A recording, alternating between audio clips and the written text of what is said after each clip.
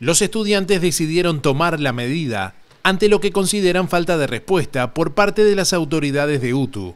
No tenemos baños, este, no tenemos agua, no tenemos limpieza, eh, las aberturas están rotas porque en los salones donde faltan vidrios se entra todo el agua, se entra el aire, las ventanas que cierran, este, se nos filtra el aire también porque no cierran del todo bien, ya son ventanas viejas, eh, nos faltan puertas en los salones, eh, se nos gotean los salones. Si bien hace un mes ante una medida similar tomada por los docentes, el Consejo de Educación Técnico Profesional prometió una solución.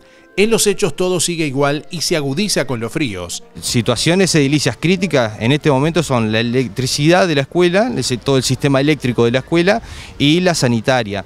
Y eso deviene también en la situación higiénica. Por supuesto que hay alumnos que están en horario de clase, eh, que no pueden salir al baño, a, ir a un, gabinete higiénico, tienen que estar conteniéndose, eso genera también eh, problemas, ¿no? Eh, genera eh, alguna infección urinaria también en algún alumno, puede haber un par de casos que se, que se dieron.